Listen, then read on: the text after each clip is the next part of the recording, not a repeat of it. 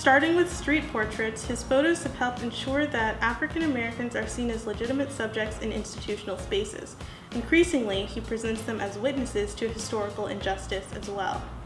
From elegantly dressed Harlem women and men